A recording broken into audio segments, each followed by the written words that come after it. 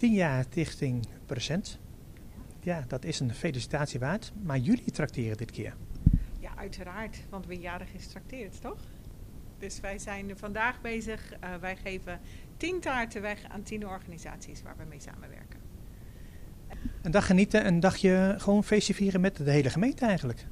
Eigenlijk wel, ja. We hadden oorspronkelijk ook het plan om echt uh, nog veel breder taarten uit te gaan delen. Maar in verband met corona hebben we ons toch een beetje beperkt.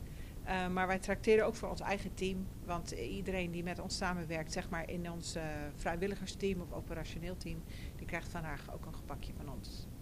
Welke organisaties doen jullie zoal aan vandaag? Even goed denken. We gaan bij Philadelphia langs, bij de wijkontmoetingscentra, bij Gain, want daar werken we mee samen met onze statushoudersgroep. Uh, morgenochtend bij Voedselhulp. Wethouder Tenega, u bent zojuist verrast met een mooie taart, 10 jaar present. Ja, een hele verrassing op de woensdagmorgen. Volgens mij ook een hele lekkere taart. Dus uh, daar gaan we zo meteen uh, met een aantal mensen. Want uh, die is uiteraard echt niet voor mij alleen. Die is, die is voor de organisatie gemeente Nunspeet. Dus die ga ik straks uitdelen. Stichting Procent, die viert een verjaardag. tien jaar, dat is natuurlijk een fantastische leeftijd. Dan, dan begin je al puber te worden. Maar wat ik juist zo net hoorde in het gesprek is nou, ze zijn al heel volwassen met alle dingen die ze doen voor heel veel mensen in, in Nunspeet.